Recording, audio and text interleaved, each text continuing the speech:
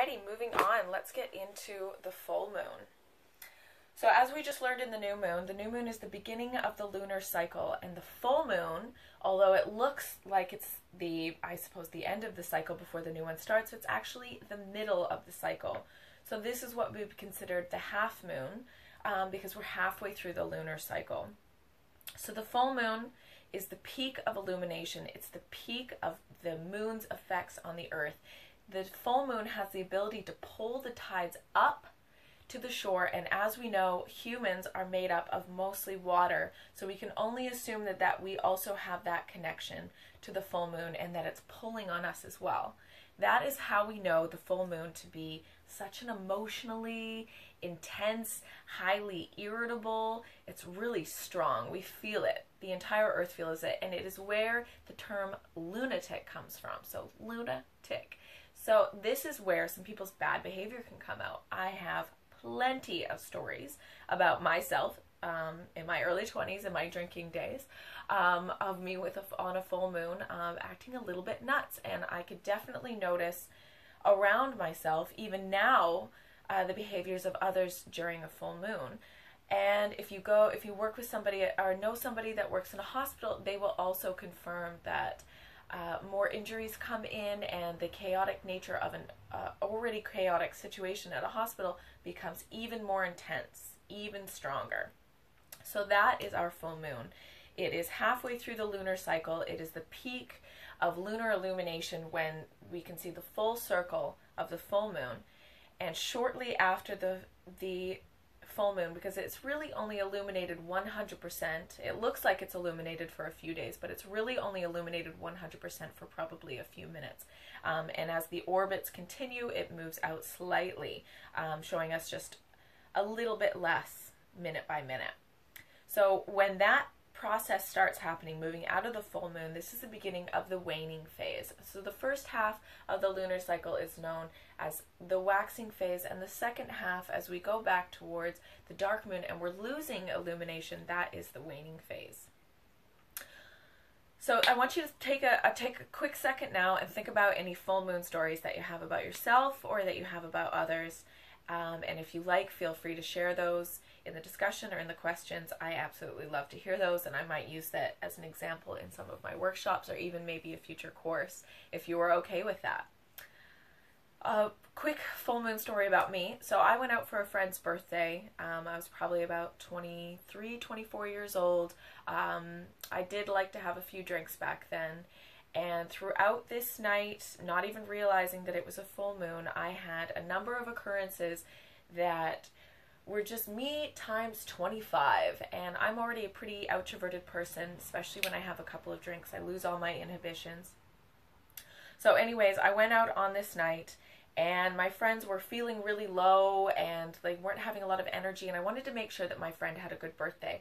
So I just opened right up, started buying drinks for everybody, ended up buying drinks for a group of about 15 guys on a bachelor party, which is not something that I would normally do. Um, and then at some point, being very intoxicated, I ended up leaving my friends, meeting a man in a wheelchair who was lost, bringing him back to his hotel, and then I continued on my way, found a bar on the way home, had another drink, made a whole bunch of friends, and then went to go get pizza. And outside of the pizza place, there was about uh, five homeless I guess probably early 20s, maybe late teenagers, and I hung out with them for actually quite a while, sat with them, got to see from their perspective what they're how they're viewing the world, ended up giving them every last bit of money that I had on me, which was probably about 60 or 80 dollars. And then I woke up the next morning with a pizza box on my chest, and so I guess I fell asleep eating that pizza. So that was my that's my full moon story. That's my biggest one. That's my most memorable one where I woke up the next day and went, "What the heck happened?" and somebody said, "Oh, Alicia, well, it makes sense because it was a full moon." And I was like, "Well, okay." So that was my first awareness of the lunar cycle affecting me um, and making me a lunatic. So that's our full moon. That's my full moon story. So the most important thing during a full moon is to stay cool, calm, and collected. Everything around you is going to be intense. So conflict is going to be up, irritation is going to be up. And we need to make sure that we're not being dragged into that because the full moon is a very powerful time if we realize that we can hone it in a really powerful way. We can't do that if we are caught up in pettiness and fighting with our friends and fighting with our family.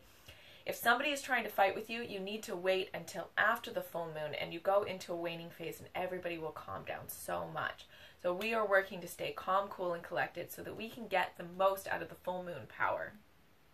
So, like I said earlier, the new moon is a time of creation.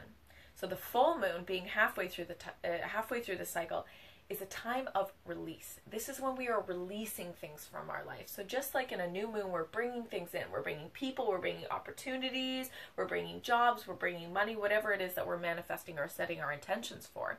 The full moon is the exact opposite. We take a look at our life and we go, this person is a liability, not an asset. I'm they are not good for me. They take me for granted. They don't treat me well. I am going to release them from my life. I have all of these clothes that I haven't worn in two years. I'm going to purge that and release it from my life. So, this can go for all sorts of releases. It doesn't have to be just one thing. It can be letting go of a career or even a project. If there's a project that you've been working on for a really long time and it is just not working out and you are not enjoying it anymore, you can use the full moon to release that, release the expectation that you had of completing that project. Um, so, in release, there also has to be forgiveness forgiveness for yourself and forgiveness for those around you. So, when you're releasing a person, we're just going to forgive them for not being conscious enough to realize how they were affecting us in a negative way. We're going to forgive them and we're going to let them go and we're going to release them. And also, if we have any past resentments, any past things that we have been holding on to that have been lingering and boiling up inside of us, this is a really good time in your full moon ceremony to choose that as something to purge, to release, and to forgive. So that's the full moon. It's all about release and forgiveness and letting go of people, places, things, projects, careers.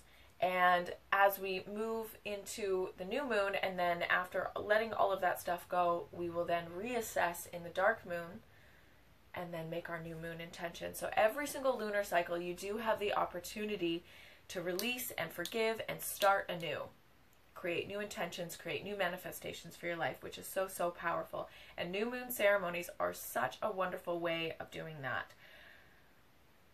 They can make such a big impact when you take that time to meditate, to connect, to let go of the outside world and really just figure out what it is that you want for yourself, what it is that you don't want for yourself. So that is the full moon. Like I said, we need to stay calm, cool, and collected. We need to stay away from conflict and also stay away from sweeping judgments and decisions. This is not a time to make a decision.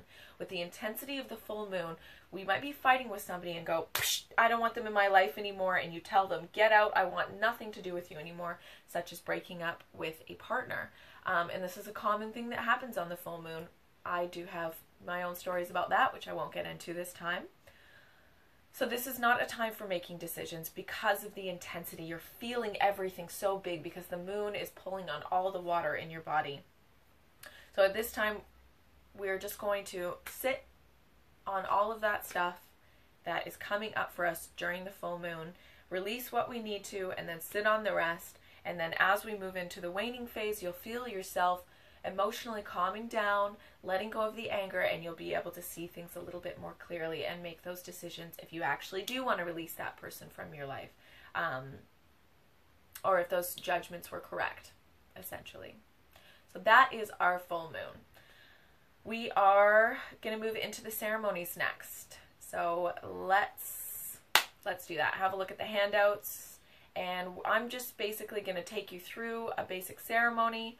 Um, and then you're going to be able to do that at home on your own, own after that. So let's do it.